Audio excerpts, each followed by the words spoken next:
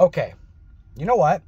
I'm gonna I'm gonna say this on the internet because UPS is the worst shipping company on the planet. Like they are absolutely incompetent.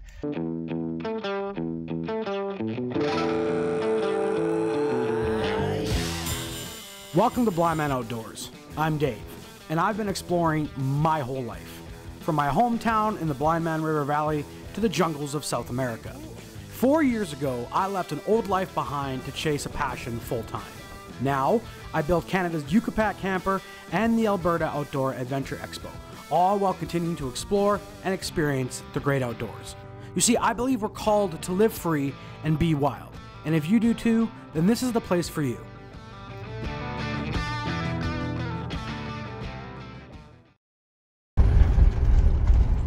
All right, guys. Welcome back to the channel. Uh, if this is your first time here, you got a lot catching up on to do. And that's good, because there's a lot of videos to choose from. Today, we are barreling down on a deadline that we have never had before. Um, and now, we're waiting on gas struts. So Tyler had to leave his business, come to our shop, wait for UPS because UPS sucks, by the way. Um, they don't go at they don't go even a quarter mile more than they need to.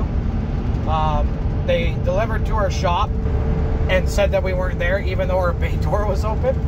So all they really had to do was stick their head into the only open bay door um, to see if we were who we said we were, and we would have had our parts on time, but we don't. And I literally just got a text message from Tyler saying that the UPS gas struts showed up. Just happened now. So we've got gas struts now. Uh, now we got to go get mechanism, install the mechanism, lift the top, install the gas struts, function test the top, put the lockouts on, hang canvas. I need a break. I need to take a break after this. What's up, brother? How are you? Oh, I'm living. I need an energy drink though. Uh, yep.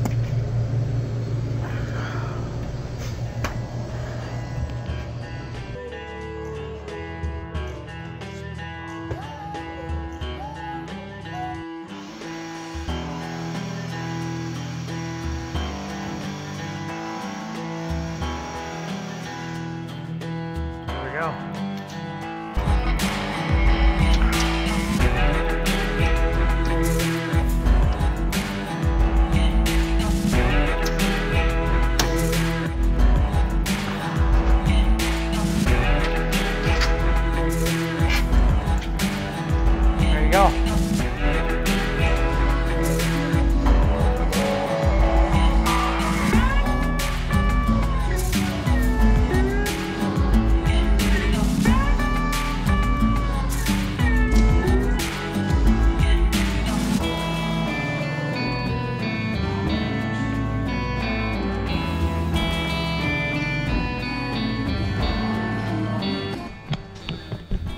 Oh, all right, guys. Uh, it's now 12:43, and we've got our gas struts planted, which is exactly where we want to be. And uh, now what we're going to do is we're going to attach the bottom edge of our gas struts. So on a Yucca camper, the gas struts are hidden within the mechanism, within the top. Um, we've got a lot of winter snow, grime, and ice up here. And uh, when I was doing the design, I just figured, you know what, we have the room, let's build it so that the, uh, the gas struts sit inside the shell. The, the, this camper has to install on a Monday, and that's uh, Monday. So tomorrow's Friday, today's Friday. So Friday, Saturday, Sunday, we got three days to finish this. And this is a brand new top that we're offering. So this is the first time Yucca Pac has ever put out a full top. And big shout out to Cam and Sarah who are willing to test our new full pop uh, for us. They're taking the first one. The one thing that we're considering here, guys, is moving our manufacturing out of the province. Um, I have found as an entrepreneur that the skill level that I need to build the product and the business at the same time, as well as contributing to Expo, um, is it's beyond me. It's just it's beyond me to do it properly. Um, it takes some drastic changes to uh, to accommodate a drastic idea, and so that's what we're doing. So stay tuned. We're not going to go into too much detail right now. We are talking with the the manufacturer that's going to be handling that. Simple cost of manufacturing. I'm not willing to skimp out on quality, and uh, it's just I can't manufacture them fast enough with the resources that I have. So the result of that being, um, well, the result being that it might uh, it might not be able to be made in Alberta. It will still be made in Canada, but if that doesn't work, well, then we may have actually run the end of our story here with Yucca Pac. And that would be sad, but at the same time, I have had nothing but amazing experiences doing what I've been doing for the past five years. And so I'm gonna kind of put my faith in the Almighty. But if you think I'm quitting, if you think I'm giving up, you ain't heard about me. You ain't heard about me because it's it's 12:40. It's one o'clock in the morning, bitches. So this is where all of your maths, all of your all of the time you spent in CAD software designing, um, function testing in CAD, and all that really comes into play. What should happen here is once these gas struts are fitted perfectly, I'm going to disconnect the hinge or the winch from the, from the crane. That thing will stand on its own. I will be able to pull it down. The mechanism should activate and uh, keep the top coming down perfectly straight down. So, wish me luck, guys. We're gonna get back at it. I literally just watched this cat poke its head up from underneath. He literally, he literally climbed the ladder. He climbed the ladder to get up there. What are you doing, cat? What are you doing? Mm.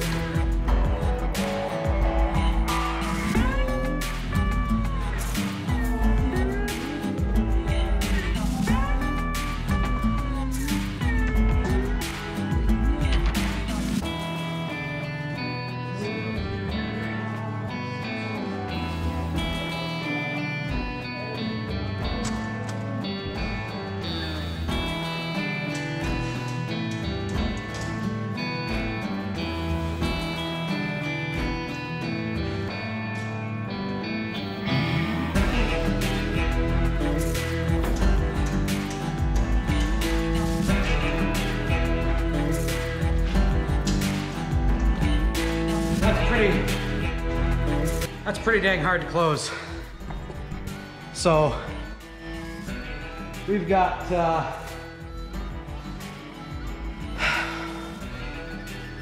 we got one weekday to make this work. Hot damn. The fact that the camper top opens and closes as well as it does is really good. We're 33 inches, we're square all the way around, Me mechanism is functioning perfectly well. The gas struts are just too strong. So all we need to do is overnight us some uh, new gas struts. I think I'll send that email tonight before I leave the shop. I might not even leave the shop. I might just be sleeping right up there tonight. Maybe even have a cuddle buddy. Just for the record. I remain undefeated. Can't stop me. Oh, all right, guys. What a crazy night. We've got some problems to solve tomorrow. But I think if we get after them early enough, we should have the time that we need. Anyway, um, thanks for um pulling an all-nighter with me. See you guys in the morning. Well, I mean, it is the morning. It's now almost 3. 3 to 4, 4 to 5, 5 to 6, 6 to 7. Let's get a 4-hour power nap.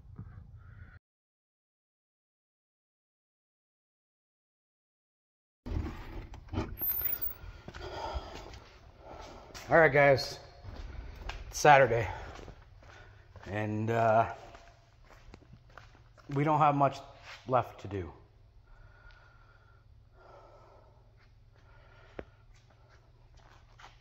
But what we are going to do is we're going to run into Red Deer, Edmonton, sorry. It's about an hour and a half away, hour away. We're going to pick up our new gas struts. We're going to swap out those gas struts. We're going to pull the canvas down from this side. We're going to adjust that lifting mechanism. Um, and then we're going to come back and take a list, take our list, see what we got left here.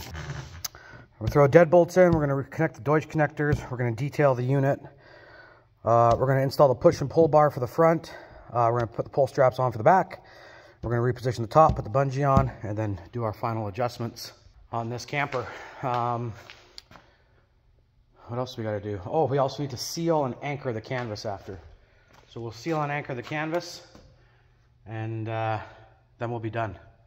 This one is coming really close to the wire. I don't think we've ever had a unit be so close in uh, a short amount of time. but we'll throw in some of the missing rivets in here because uh, we wanted to wait till the top was on and make sure we, we were copacetic. And last but not least, we'll put the mattresses back in and then we're gonna function test. If everything's tickety-boo, then we're good for Monday. Uh, if not, there's absolutely no time for redos on anything. Uh, so this is how it's going. We're gonna put the latches on, anchor the canvas, and it's gonna go. I'm pretty confident. We've got less canvas than a full pop, but we have the same cavity size, minus a little bit because of the flat mounted hinges. Um, but outside of that, this should sit real nice. Put the, put the latches on. We've got our bed seal and our canopy clamps ready to go. Uh, we've got our pull strap ready to go. So we are looking good. But right now we're gonna buzz up to Edmonton, grab our gas struts, buzz back, put them on and get this done. As I'm driving up, I am crossing my fingers and praying that UPS doesn't drop the ball on this like they do every time. However, unfortunately, in the back of my mind, I am nervous. And it turns out I had right to be nervous. I had a 130 guarantee delivery time to Edmonton. It was being shipped through UPS to UPS by UPS. So you would think there shouldn't be any problems. Okay. You know what? I'm to I'm to say this on the internet because UPS. UPS is the worst shipping company on the planet. Like they are absolutely incompetent. We overnight shipped a set of gas struts to this location, to the UPS store that I am currently at right now. I've got a tracking number that says my v and I have a guarantee. I have a 130 guarantee. I got here at 1:50 p.m. There is no package here. The tracking number says that it's going to be here and the store is open until 3. So it's open for another 50 minutes. 5-0. My tracking number says that the driver attempted to deliver the package here, but that the store was closed. And I am here. I am at the store and it is not closed. I drove an hour because they wouldn't deliver express to my area. So I, I, I had a 130 guarantee that the package would be here where I'm currently leaving at 1.30. I get here at 1.50 and I get a notification on my phone that says, hey, we attempted to deliver your package to the store, but the store was closed. Not realizing that I'm sitting at the store and it's not closed. So as far as I'm concerned, UPS is a garbage company and you should avoid them like the plague. They don't have your interest at heart as a customer. They don't care. As a matter of fact, they don't care so much that if you have a package that you need and you've paid their ridiculous price for expedited shipping, and they don't get it to you, they don't even they don't even actually care. They're not even going to do anything to help you. So now I got to figure out something else to do. Unreal. Unreal. UPS, man. I will never use them. I hate UPS. While on my way back, I did know that Tyler had made time this weekend to come in and test fit a canvas, uh, the first full pop canvas that we ever made. And so he's actually in the shop right now as I'm pulling in, uh, getting that test fit up. Now, these canvases are 100% made right here in town. They're actually made by Tyler's other company, Carriage Upholstery. here in town. Here you can see we're just lining up the panels to make sure our seams are gonna sit exactly where we want them. So a Yucca Pac camper, guys, really is 100% made in Canada. Our canvas is made here, it's sewn here, the mattresses are made here, the insulation panels are made here, and they are all made by hand. So the Yucca Pac camper is very much a, uh, a, a whole bespoke build for each customer. All right, guys, we've had a buzz, a buzzy day, a buzzy day. Uh, check it out. We've got uh, insulation kit installed. We've got our bug nuts installed. We've got the rear door hung. We've got the mechanisms powder coated and installed. We've got the gas struts installed. We have function tested this lid. What we think is happening is, is as we're pulling that top down, those struts are so damn strong that it's causing that, that lid to kind of walk and it's not coming down nice and straight. So by switching those gas struts out, we should be okay. But we've got our canvas here and now we're gonna throw the canvas on.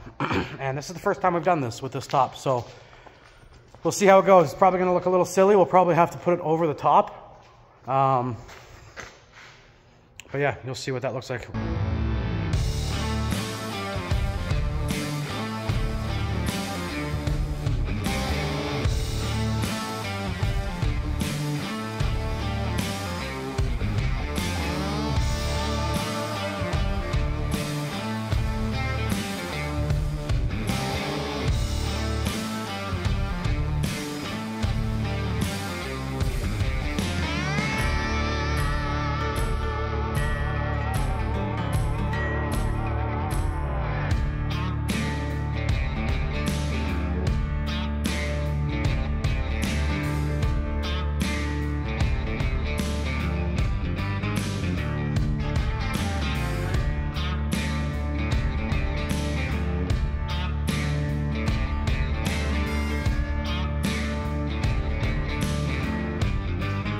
Well, tell you what, folks.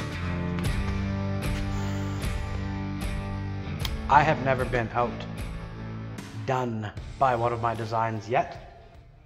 It might have happened. I might have been overzealous with the poundage of the gas struts, thinking that so long as I overbuild everything else, that it would work.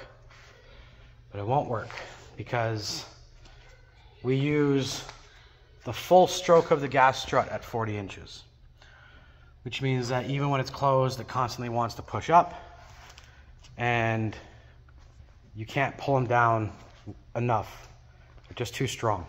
So I need to put lighter gas struts on there. We attempted to do that today, but unfortunately the services that we paid for didn't bear fruit. And I know everybody out there, I know for a fact everybody out there is also getting real tired of their money being abused and not going as far as it used to. And not just that, but the services, the quality of work that we see out there right now, not us as business, I mean us as people, us as consumers. The quality of the services that we're being charged for is trash. And it's not just UPS, man. We're seeing it everywhere. And it's really starting to get to me because I'm going to toot my horn here, which I don't do often, but I build a premium product. I build a superior quality product. That is getting increasingly harder and harder to do when I keep being charged for premium quality services and premium quality products and having them not be what I'm paying for. And I am doing my hardest and darndest to make sure that that doesn't happen within my own business. But I may have been outdone. All right, guys. It is uh, 8 p.m. on Sunday, and we are 99% of the way ready. Tomorrow morning, we will contact UPS in the most Canadian way possible, which just basically means without losing my cool. We will find the gas struts that we need and we will get them on. This is not how we do things here. This is not how we do things here. So, I simply ask that you guys don't judge me too hard on letting a camper leave here that normally I would rebook for re install. That's not doable this time around, so we're kind of left to do what we got to do. But I will reiterate, this is not how we do things here.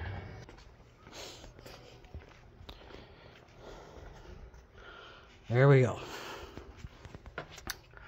Campers in, pull straps and handles are where they need to be. Mechanisms are locked. It's stuff like this. It's moments like this that this that I don't share on this channel very often. Um, but this is the truth of it. Sometimes this happens. Sometimes you bust your ass and you stay up until God God knows how many nights and how many days. and, and, and you can do it all, and sometimes it still doesn't work. That's literally the entrepreneur's calling card. Really. When you're in it and you're really in it, it's not romantic. You have a lot of days like this. And despite working hard and as diligently as you can, sometimes you miss things. And sometimes you miss things or make mistakes and then other people in parts of your business make mistakes and they just kind of pile on top of each other. Uh, all right, guys. Um, I'd really hate to leave the video on a cliffhanger like this. It just seems cheap, but I think I've just filmed too much content. As much as I hope for a miracle, I don't think I'm going to get one. And so I think we're going to leave it here. And hopefully, hopefully, the next time you guys see a video will be very soon after this one. And this will actually already be in BC and be enjoyed by Cam and Sarah. And this will all just be a bad memory. But yeah. I was hoping to end this one on a high note, guys, but you do know the deal. Live free, be wild, and we'll see you on the next one.